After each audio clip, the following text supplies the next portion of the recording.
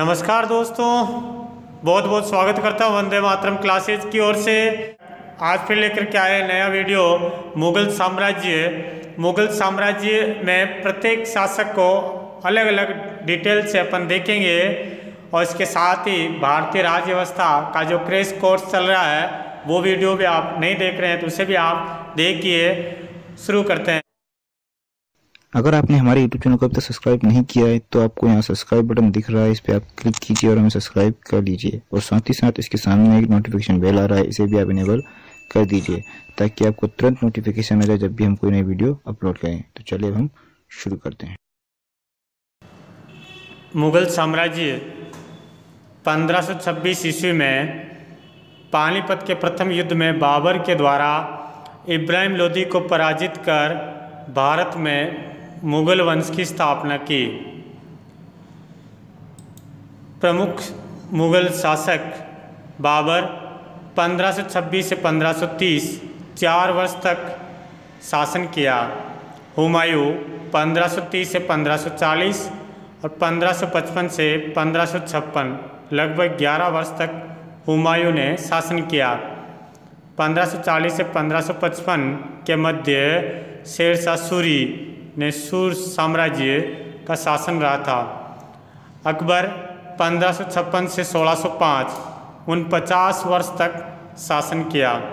जहांगीर 1605 से 1627 22 वर्ष तक जहांगीर ने शासन किया। शाहजहाँ 1627 से सोलह इकतीस वर्ष तक शाहजहाँ ने शासन किया। औरंगज़ेब सोलह से 1707 उनपचास वर्ष तक औरंगज़ेब ने शासन किया। इसके बाद भी मुग़ल वंश चला, लेकिन मुग़ल जो शासक थे, इतने शक्तिशाली नहीं थे। तो मुग़ल साम्राज्य का प्रथम शासक बाबर को माना जाता है। अंतिम शासक बहादुर शाह ज़फ़र, जो अठारह की क्रांति तक शासक रहे थे। बाबर। बाबर का पूरा नाम जैरुद्दीन मोहम्मद बाबर। बाबर का जन्म हुआ 14 फरवरी चौदह ईस्वी को ट्रांस ऑक्सियाना की रियासत फरगना में बाबर का जन्म हुआ। बाबर के पिता उमर शेख मिर्ज़ा थे और माता कुतलुक निगार खानम थी।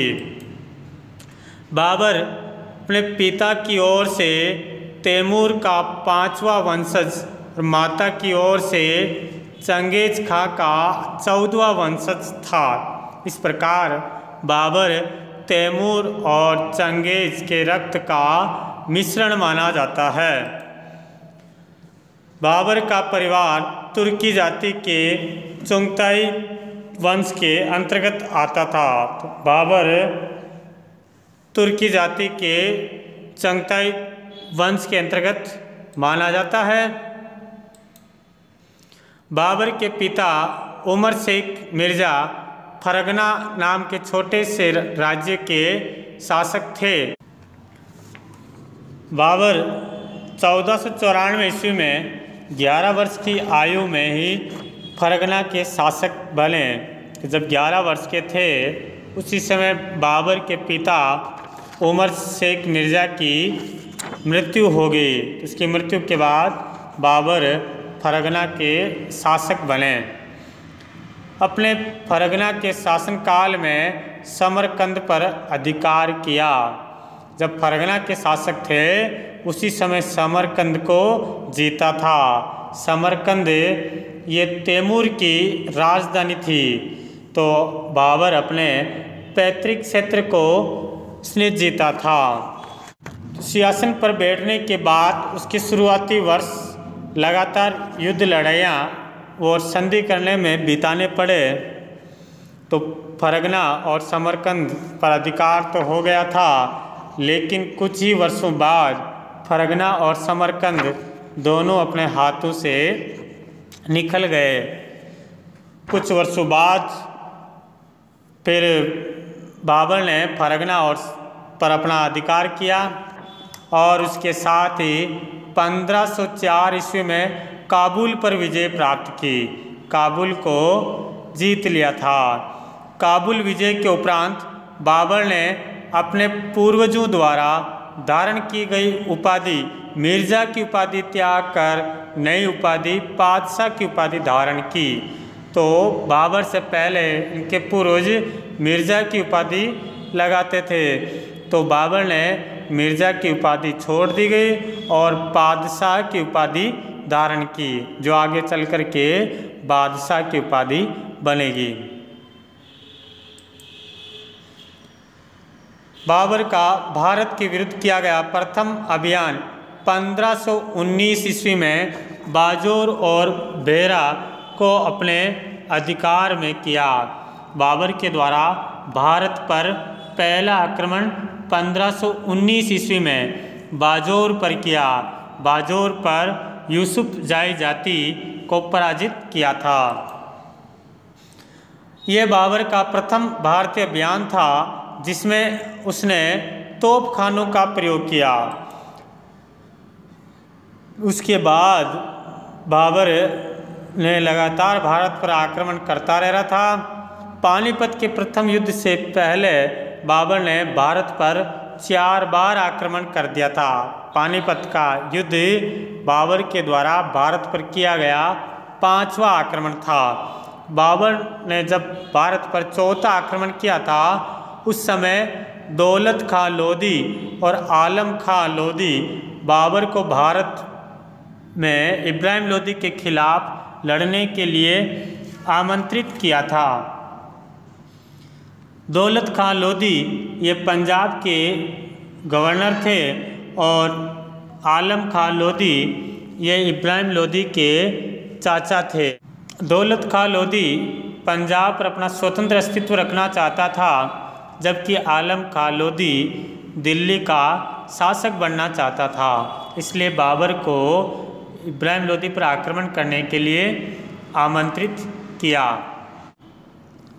पानीपत का प्रथम युद्ध 21 अप्रैल 1526 ईस्वी को हुआ। यह इब्राहिम लोधी और बाबर के मध्य लड़ा गया, जिसमें बाबर की विजय हुई। इब्राहिम लोधी लड़ता हुआ मारा गया। इस युद्ध में बाबर ने पहली बार तुलगमा युद्ध पद्धति का प्रयोग किया।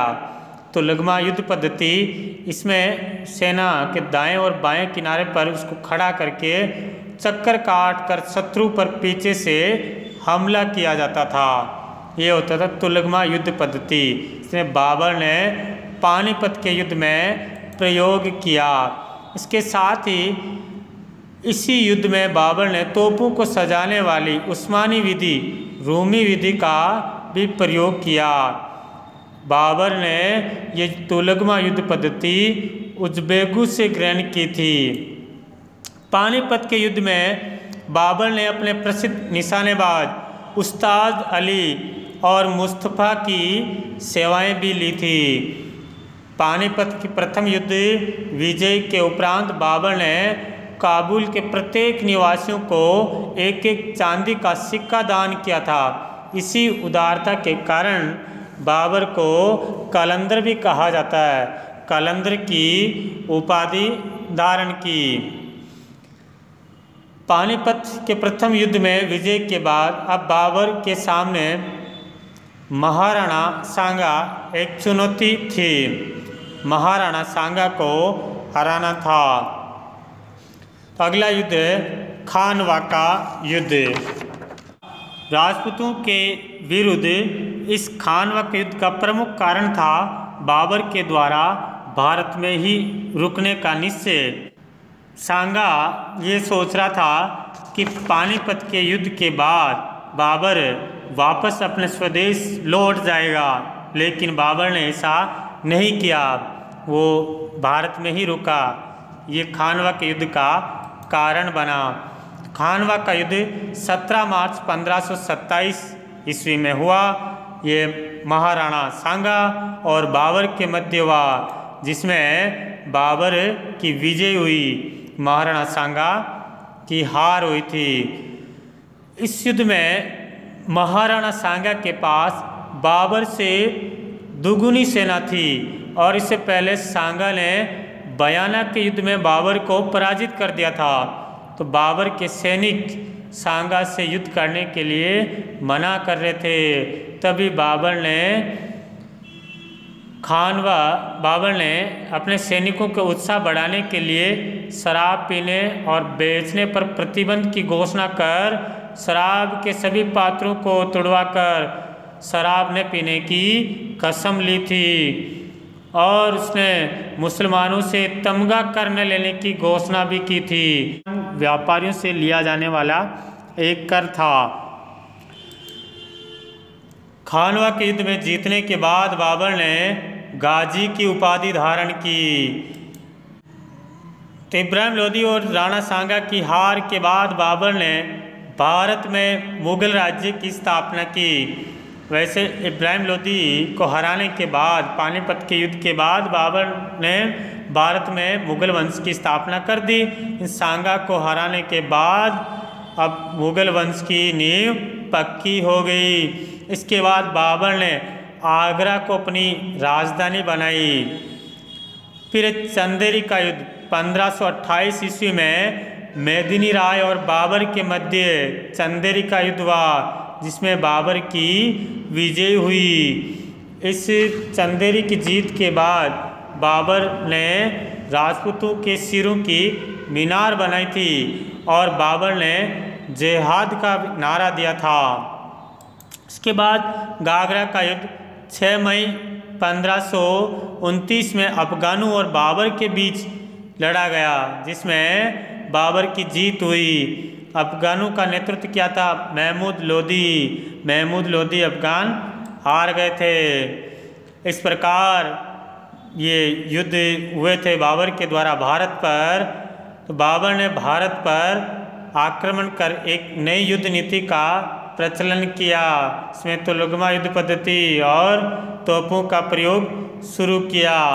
साथ ही बाबर ने सड़कों की माप के लिए गज बाबरी का प्रयोग का शुभारंभ किया।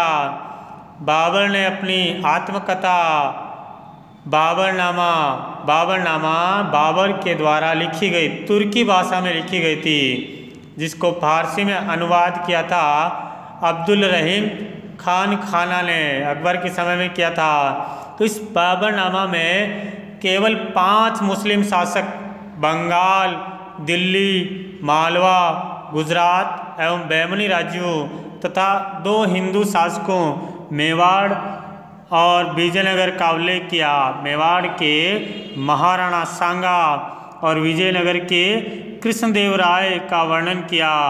कृष्णदेव राय को उस समय भारत का शक्तिशाली शासक बताया था बाबर ने।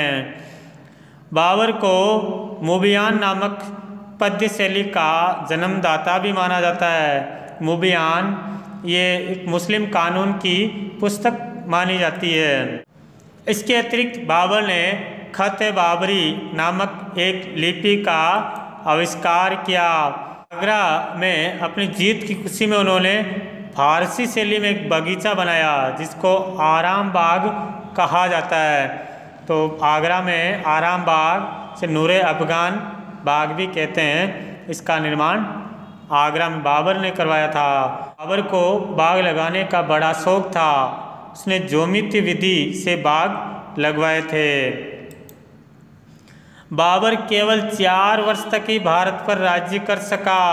चार वर्ष के बाद अड़चास वर्ष की आयु में 26 दिसंबर 1530 ईस्वी को बाबर की आगरा में मृत्यु हो गई। प्रारंभ में उसके शव को आगरा के आराम बाग में रखा गया। पर उसकी अंतिम इच्छा के अनुसार शव काबुल ले जाकर के दफनाया गया और काबुल में ही बाबर का मकबरा बना हुआ है। इसके बाद बाबर का ज्येष्ठ पुत्र हुमायूं मुगल बादशाह बना। तो अगले वीडियो में अपन देखेंगे हुमायूं, तब तक के लिए जय हिंद, जय भारत, वंदे मातरम।